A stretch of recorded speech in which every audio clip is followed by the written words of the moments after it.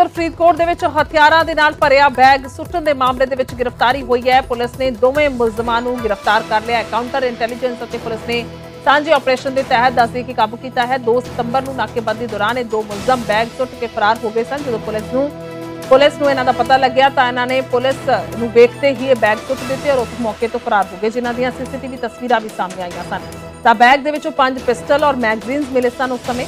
ਔਰ ਫਰਾਰ ਹੁੰਦੇ ਮੁਲਜ਼ਮਾਂ ਦੀ ਸੀਸੀਟੀਵੀ ਸਾਹਮਣੇ ਆਈ ਸੀ, ਜਿਸ ਤੋਂ ਬਾਅਦ ਇਹਨਾਂ ਦੀ ਭਾਲ ਕੀਤੀ ਜਾ ਰਹੀ ਸੀ, ਸੁਭਾਵਿਕ ਤੌਰ ਤੇ ਕਿਉਂਕਿ ਇਹਨਾਂ ਦੀ ਗ੍ਰਿਫਤਾਰੀ ਤੋਂ ਬਾਅਦ ਹੀ ਇਹ ਹੁਣ ਪਤਾ ਲੱਗੇਗਾ ਕਿ ਇਹ ਹਥਿਆਰ ਕਿੱਥੋਂ ਲੈ ਕੇ ਆਏ ਸੀ ਔਰ ਇਹ ਹਥਿਆਰਾਂ ਦਾ ਇਹਨਾਂ ਨੇ ਕਰਨਾ ਕੀ ਸੀ, ਕਿਉਂਕਿ ਜੇਕਰ ਹਥਿਆਰ ਇਹਨਾਂ ਦੇ ਕੋਲ ਸਨ ਤਾਂ ਕੋਈ ਨਾ ਕੋਈ ਵਾਰਦਾਤ ਅੰਜਾਮ ਜਿਹੜਾ ਹੈ ਉਸ ਨੂੰ ਦਿੱਤਾ ਜਾ ਸਕਦਾ ਕਿਉਂਕਿ ਜਿਸ ਤਰੀਕੇ ਦੀਆਂ ਘਟਨਾਵਾਂ ਵਾਪਰਦੀਆਂ ਨੇ ਔਰ ਅਜਿਹੇ ਦੇ ਵਿੱਚ ਜੇਕਰ ਪਹਿਲਾਂ ਤੋਂ ਹੀ ਇਹ ਮੁਲਜ਼ਮ ਕਾਬੂ ਕੀਤੇ ਜਾਂਦੇ ਨੇ ਤਾਂ ਇੱਕ ਵੱਡੀ ਕਾਮਯਾਬੀ ਅਸੀਂ ਇਸ ਨੂੰ ਪੁਲਿਸ ਦੀ ਵੇਖ ਸਕਦੇ ਹਾਂ। ਤਾਂ ਫਰੀਦਕੋਟ ਦੇ ਵਿੱਚ ਹਥਿਆਰਾਂ ਦੇ ਨਾਲ ਭਰਿਆ ਬੈਗ ਸੁੱਟਿਆ ਗਿਆ ਸੀ, ਜਿਸ ਮਾਮਲੇ ਦੇ ਵਿੱਚ ਹੁਣੇ ਗ੍ਰਿਫਤਾਰੀ ਹੋਈ ਹੈ। ਦੋਵੇਂ ਮੁਲਜ਼ਮਾਂ ਨੂੰ ਅਰੈਸਟ ਕਰ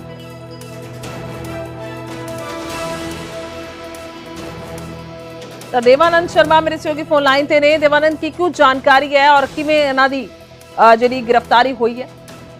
ਆ ਬਿਲਕੁਲ ਗੁਰਜੋਤ, ਦੱਸ ਦਈਏ ਕਿ ਪਿਛਲੇ ਦਿਨੀ 1-2 ਤਰੀਕ ਨੂੰ ਜਿਹੜਾ ਕਿ ਵੈਪਨਾਂ ਦਾ ਬੈਗ ਹੈ ਜਿਹੜਾ, ਫਰੀਦਕੋਟ ਦੇ ਟਹਿਰਾਂ ਟਿਊਬ ਪੁਆਇੰਟ ਤੇ ਕੁਝ ਵਿਅਕਤੀ ਹੈ ਜਿਹੜੇ ਸੀਸੀਟੀਵੀ ਦਿਖਾਈ ਦਿੱਤਾ ਸੀ ਕਿ ਉਹ ਭੱਜ ਗਏ ਸੀ, ਛੱਡ ਕੇ ਤੇ ਲੇਕਿਨ ਲਗਾਤਾਰ ਆ, ਫਰੀਦਕੋਟ ਪੁਲਿਸ ਤੇ ਬਠਿੰਡਾ ਦੀ ਕਾਊਂਟਰ ਇੰਟੈਲੀਜੈਂਸ ਪੁਲਿਸ ਇਹਨਾਂ ਦੇ ਮਗਰ ਲੱਗੀ ਹੋਈ ਸੀ। ਉਹਨਾਂ ਨੇ ਕਾਫੀ ਮਿਹਨਤ ਕੀਤੀ ਟੈਕਨੀਕਲ ਸਕਿੱਲ ਦੀ ਮਦਦ ਲੈ ਕੇ ਤਾਂ ਇਹਨਾਂ ਨੂੰ ਇਨਪੁਟ ਮਿਲ ਰਹੀ ਸੀ। ਆਖਰਕਾਰ ਇਹ ਵਿਅਕਤੀ ਹੈ ਜਿਹੜੇ ਬਾਹਰੋਂ ਵੈਪਨ ਮੰਗਾ ਕੇ ਸਪਲਾਈ ਕਰਦੇ ਹਨ ਵੱਡੀ ਸਫਲਤਾ ਮਿਲੀ ਹੈ। ਜੁਆਇੰਟ ਆਪਰੇਸ਼ਨ ਪੰਜਾਬ ਪੁਲਿਸ ਦਾ, ਉਹ ਕਾਊਂਟਰ ਇੰਟੈਲੀਜੈਂਸ ਦਾ ਤੇ ਇਹ ਵਿਅਕਤੀ ਜਿਹੜੇ ਦੋ ਨੇ, ਇਹਨਾਂ ਦੋਨਾਂ ਦੀ ਜਿਹੜੀ ਗ੍ਰਿਫਤਾਰੀ ਆ ਦੇਰ ਰਾਤ ਆ ਜਿਹੜੀ ਉਹ ਕਰ ਦਿੱਤੀ ਗਈ ਆ ਤਾਂ ਦੱਸਦੀ ਕਿ ਹੁਣ ਅੱਗੇ ਕਿਉਂਕਿ ਫਾਰਵਰਡ ਲਿੰਕ ਵੀ ਦੇਖਣਾ ਤੇ ਬੈਕਵਰਡ ਲਿੰਕ ਵੀ ਦੇਖਣੇ ਨੇ ਆਖਰਕਾਰ ਕਿੱਥੋਂ ਵੈਪਨ ਲੈ ਕੇ ਆ ਰਹੇ ਸੀ।